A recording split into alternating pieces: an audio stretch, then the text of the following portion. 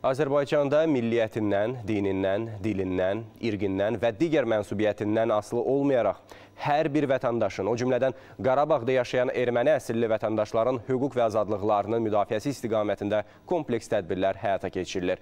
Qarabağda yaşayan erməni əsilli vətəndaşların hüquq və azadlıqlarının təmini və müdafiəsi ilə bağlı Ombudsman Səbinə Əliyevanın açıqlamasında belə deyilir.